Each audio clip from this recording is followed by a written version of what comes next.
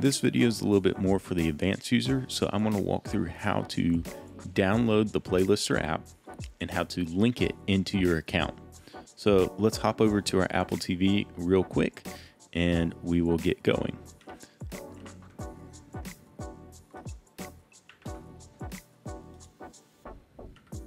All right, so we are now at our Apple TV. Um, so to download your um, Playlister app, you need to go to their App Store.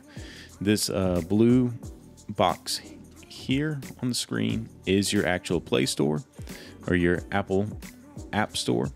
Um, so you will want to click there. And you will have the option up at the top to swipe all the way over and use the magnifying glass to search for Playlister. Um, it does not pull up until you fully get playlist into it. Um, and usually you have to even have the E in there before it pulls up the correct application. So just go ahead and put Playlister in. Um, there is also the ability to use the Siri remote. I have found that it often puts a space between play and lister. And so the problem is, is it does not pull up the app. So the best way to do it is to just type in playlister um, the good old fashioned way. So then once you have typed it in and you've looked up, you can click and download the app. Um, I've already purchased the app. It's a free app. So you may have to check with your IT representatives from your church um, and make sure that they are fine with you downloading this app. But then you can download the app. It is free, like I said. So I'm going to go ahead and download it. And it's going to take it a second here to download. And while we're doing that, okay, we're we are ready to go. So from here we can go ahead and launch it, but let's just go ahead and make sure that it downloaded to the right place. So let's go all the way down and there is our Playlister app. Okay. So now that I've got it launched, it's going to give you a code the first time that you download the app. Um, so what you need to know about the code is this is how you will access your different areas um, to go ahead and program them into your Playlister account on your global scale. So let's hop over to our Playlister account from here.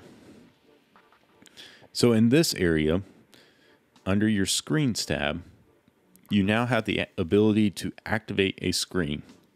If you have already purchased the screen and you purchased your set amount that you need, then this should be a very simple process. If you have not purchased your screen, you have to go and purchase your screen first, and then you can activate it. So we're gonna go ahead and activate because I have the screen for this. Okay, and we need the activation code. So let's hop over to our Apple TV. It is F7GQ.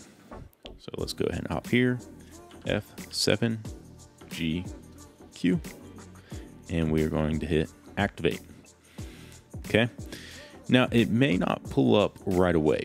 And what I would encourage you to do at this point is to just go ahead and refresh your screen. So I'm going to go ahead and refresh here. And go to the All Screens tab. And you can see that we have one labeled Apple TV. We can see the app version, which is the most up to date. We can see which TV OS it's on, which is the most up to date. And we're going to go ahead and load in here and it should give us some information. So we can come in and we can go ahead and add tags um, if we need to add tags to the TV. So I'm going to go ahead and add in a ones and twos tag. And then for more information, this is where I would encourage you to go first. So this I'm going to name test TV.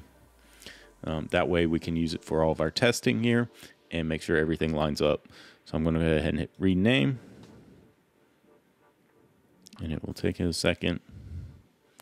And now we can see here under the name, we have Test TV. It's waiting on sync and it is downloading all of our content.